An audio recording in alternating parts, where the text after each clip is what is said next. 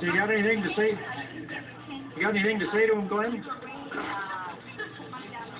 I don't know. You know, I think it's a real big mistake for marriage, and uh, I'll probably never do it in my lifetime. But you know, I watch a lot of guys fall because of it.